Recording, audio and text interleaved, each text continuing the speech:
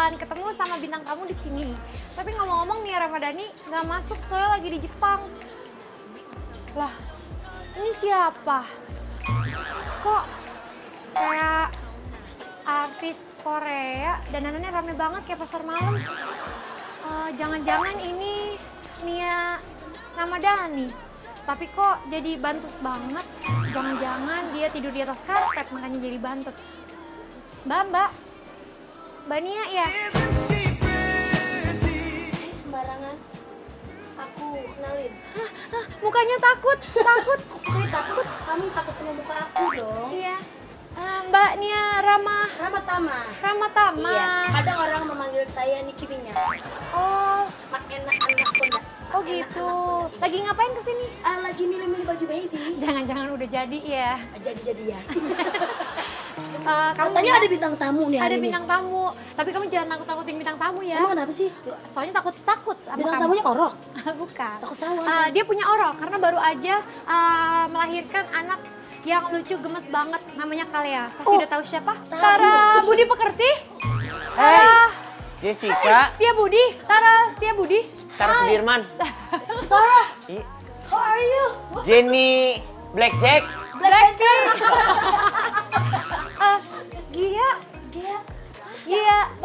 kemarin. Gia ya? Pangabean. Gia Pamungkas, Gia Pamungkas. Yang anaknya namanya Kele ya. I Kalea, jangan diganti-ganti ya nama anak gue. Jangan diganti. Anak dia namanya Kalea. Kalea, Kalau ya. kamu Kale yuk. kasihan. Oh, ya udah iya. kita udah disediain tempat duduk. kita ngobrol ya. Kita duduk yuk. Apa kabar nih Tara sama Gia? Alhamdulillah sehat Alhamdulillah ya. baik. Anaknya namanya bagus banget. Kalea Jada, Jada Agira. Artinya apa tuh? Artinya apa? Artinya kalea itu eh, kebahagiaan, cerah, terang benderang, bersih gitu. Jada itu hadiah atau pemberian. Agira tuh gabungan nama aku sama Tara. Anak Oh, dia Tara. Oh, Gia dan Anak Tara. Anak Gia Karena bingung nama belakangnya agak rebutan ya antara Sadika atau Budiman. Oh Akhirnya gitu. cari jalan tengah. Kita aja deh. bikin ini baru lagi. Bagus Agira kalau dia Agila lu. Agelo. Agila lu. Gimana Perasaannya bedanya apa sama dulu single Oh, pacaran? banyak banget bedanya terus jadi berubah diri jadi lebih baik lagi. Hmm, Terus udah gitu dia juga semakin ini di rumah gue. ya biasanya Iya. Biasanya yang party pasti aja. yang biasanya setengah jam sekali, 5 menit sekali teleponnya FaceTime, mulai sampai udah-udah kali gitu. Iya. Karena kan lagi tidur FaceTime-nya melulu. Tapi susah nggak? Kalau Tara bagi waktu nggak? Gini misalnya kayak kalau ada anak kecil kan pakai babysitter nggak? Nah, akhirnya pakai Akhirnya pakai. eh, kalau sekarang bagi waktunya gimana? Apakah Tara dapat part ganti popok atau awalnya kita kan sebulan dua bulan sebulan setengah pertama nggak Iya. pakai. Hmm, Jadinya bagi-bagi tugas, dia bagian ngeberpin. ngeberpin. Oh yang kalau habis nyusuin diginiin di, Iya. di Jadi tepok-tepok. malam dia tuh bangun, alhamdulillah ngebantuin aku banget. Jadi aku aku kan mompa, netein mompa lagi gitu kan. Nah pas aku lagi netein dia udah siap-siap walaupun kantuk-kantuk ya. Tapi dia Ih Tara baik ya. Alhamdulillah ya. Iya. Jadi jadi daddy banget. Kan bantuin nyuci popok nggak biasa kan bapak baru nyuci Eh, popok. Kan popok pakai mah ini. sekarang ganti. Pakai pampers kali. Pampers. Pampers. Nih karena Tara kan pastinya uh, udah dua bulan pasti udah sering gendong Kalea kan. Iya dong. Kita mau lihat nih caranya Tara gendong ade bayi. Oke. Anggap aja ini ade bayi. Aduh nangis lagi. Ya ampun bu. Nangis lagi. Bu, hey bu, sini bu biar saya aja. Oh, iya, Pak tolongin dulu Pak, anak saya nangis. Oh iya sih nggak apa-apa nggak apa-apa nggak apa-apa. Eh, Eh jangan nanti jangan gumoh nakut-nakutin. anaknya. Jangan nakut-nakutin. Nanti anaknya gumoh.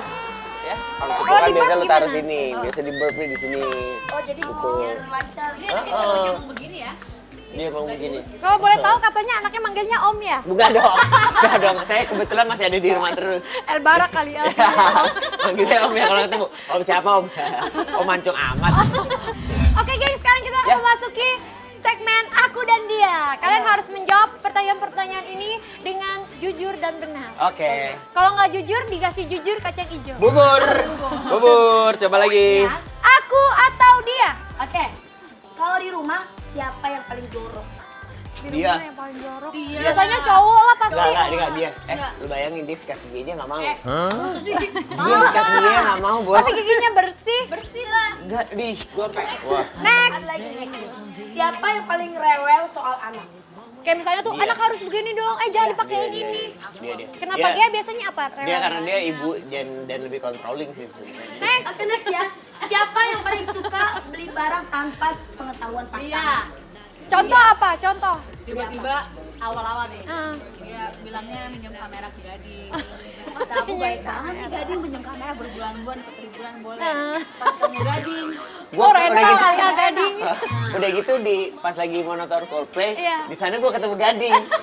Gading pas lagi ketemu sama gue gini, Cya elah kamera baru nih, aduh ini gue. Terus gue lagi gini, gue tarik, gue tarik keluar. Kenapa? Gue bilangnya ini kamera lu, lu bilang dong, gitu kasih tahu Iya. dong.